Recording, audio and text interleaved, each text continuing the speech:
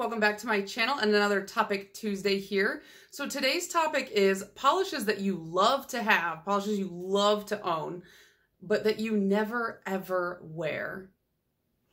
And right out the gate, I should probably just say like 90% of my collection.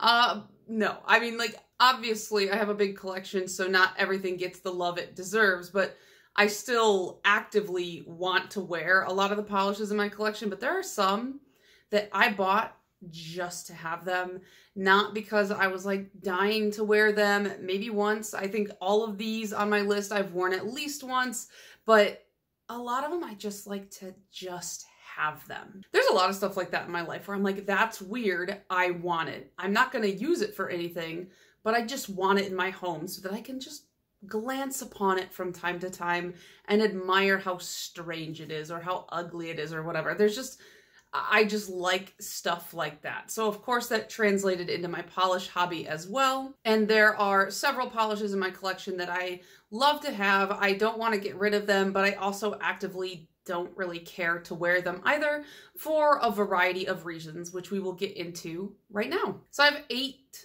different ones to talk about. Four are like actual polishes, and then the other four are more like full collections. You'll see when we get there, but let's start with the actual individual polishes. And number one on my list of polishes I love to have, but don't, I don't wear these. Uh, number one is Essie's Belugaria. I have worn this, I'm almost certain, exactly one time, and that was it. That was enough. I got the full Belugaria experience. I didn't need a repeat. I bought it because it was just it looked like a weird polish and I was just like, oh, it's just a textured polish. It's a little bit strange.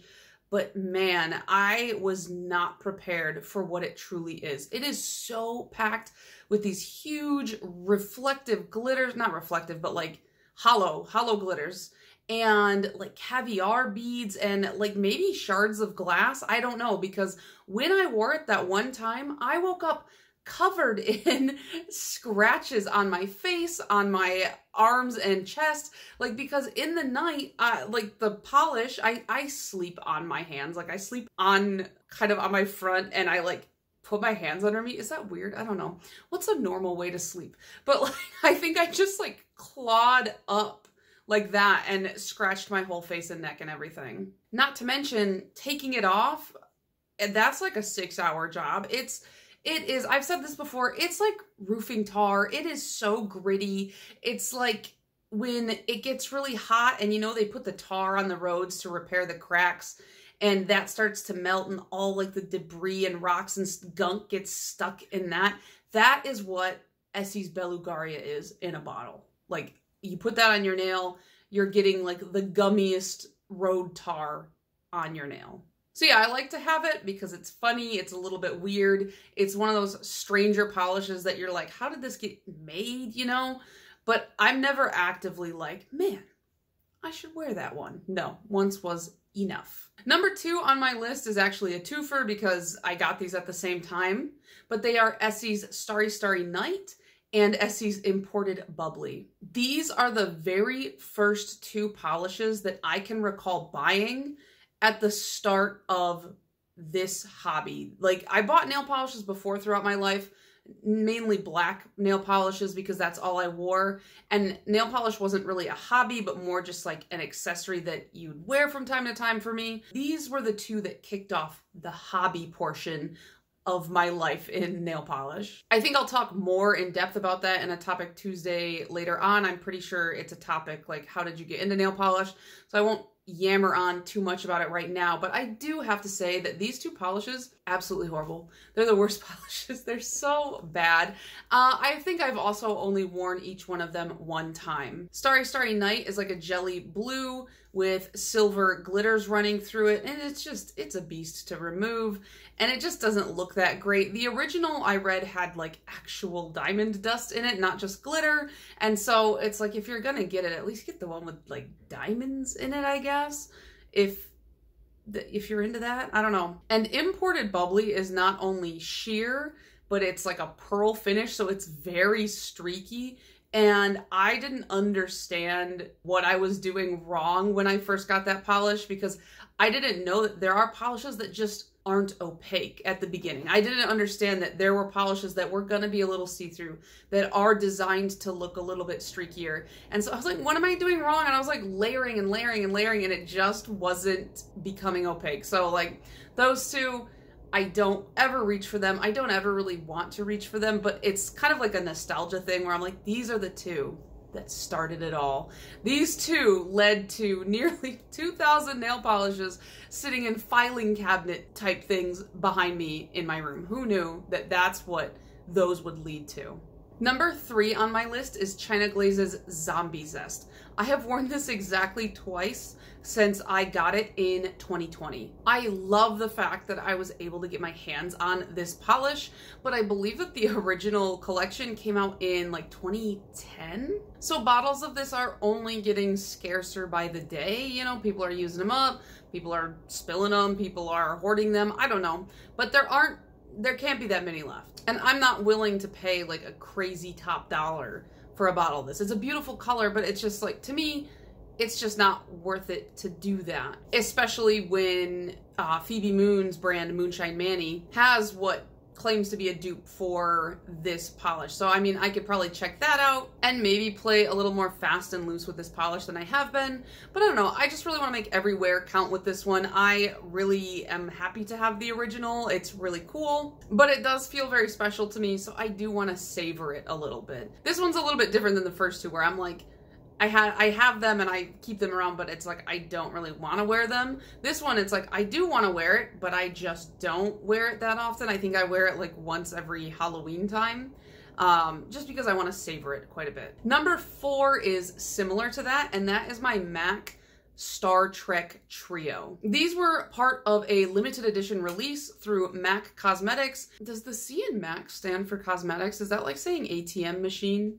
I don't know, actually. What does MAC stand for? Makeup and no, I don't know. I don't know. I don't care. It doesn't matter.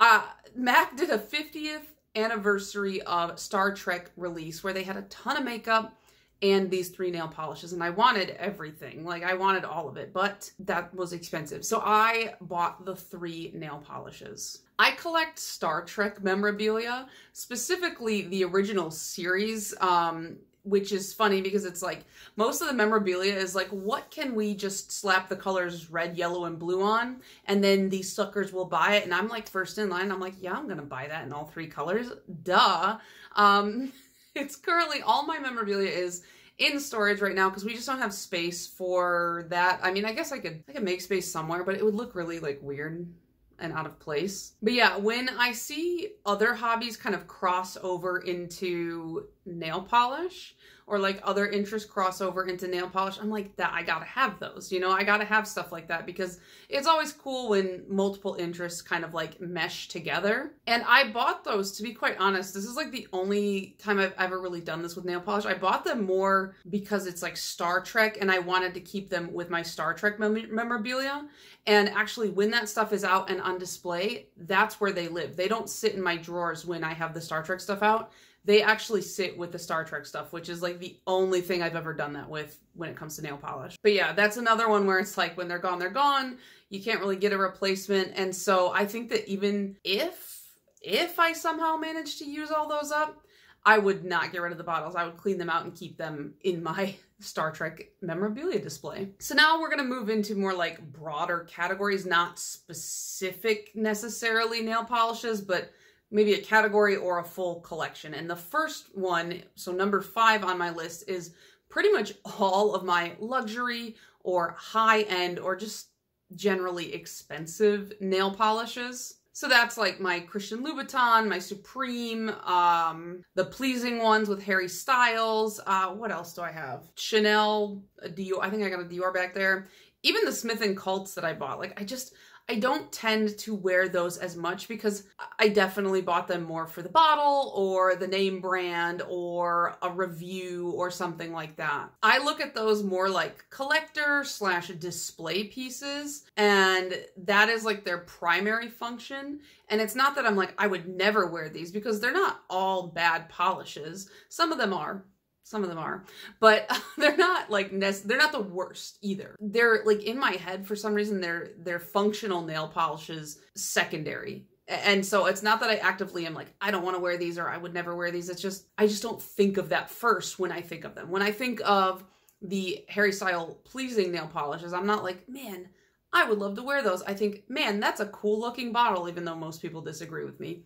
And same with the Christian Louboutin and things like that. Number six is all of my Sally Hansen chrome like nail makeup polishes. I got these in a big random destash and owning these is more like nail polish history for me than anything else even though they're not, I don't think they're that old. I mean, they're kind of old, but they predate when I got into nail polish. So I had never even seen these before. And then the first couple times I showed them on camera, people were like, oh my God, I remember those. And they were like getting all nostalgic for them. And I was just like, oh, oh, these are like, people think these are interesting. Okay, let me, let me look into them. And I, I looked at how old they are and I was like, oh, okay, these are kind of like historical. I'm just not in my metallics era anymore. Maybe I'll revisit it, but I still just want to hang on to these indefinitely because I I just have to I have to I I don't really get rid of nail polish to begin with.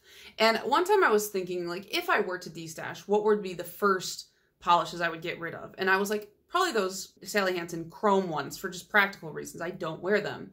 But then I was like, yeah, but they're like they're history. I got to keep them, you know? So I this is why I can't get rid of nail polish because I talk myself into keeping it. But yeah, I don't think I've ever once been like, man, I should wear one of those. It just, it's never crossed my mind. Number seven on my list is another Sally Hansen collection, and that is all of my Sally Hansen Crayola Insta-Dris. I bought these solely because they're Crayola. They look like crayons. I absolutely love colorful things, and you know what is more colorful than a box of crayons. I love it. It's just, it's a full nostalgia bait buy, and I I think they did three, three or four separate releases with this. And honestly, if they said tomorrow, like, we're releasing even more, I would buy all of them because I don't know, they're just so cute. The caps are little great, like, you know, like the squiggle on the end of the Crayola. I'm to show a picture. I don't know why I'm feeling like I need to describe this to you in great detail. You know what a Crayola crayon looks like. And they're all named after the actual crayons and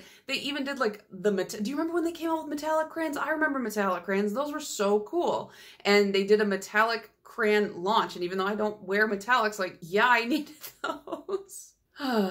These are another one that it's like, I'm not anti using them. I've used them from time to time. I do use them here and there. I just, Sally Hansen Insta-Dri, I Love her. She's great. They're very cheap. And for the price point, they do a good job. But at this point, I definitely have a lot of stuff that's better than those. And I also just want to preserve those crayons. If if I used one up, I would save the bottle. There's I would definitely save the bottle. I'd clean it out and put it on display. I just they're too cute. I can't. And then the final thing on my list of polishes I love to own but never wear would be all of my toppers, which I'm trying to change this year. But I am just so attracted to a fun topper. A, a, weirdly shaped glitter really gets me, or like a funky color combo or something like that. They always suck me in. I buy them and I'm like, I love these. And I put them on my swatch sticks and then I put them in my drawer and I'm like, you live there now.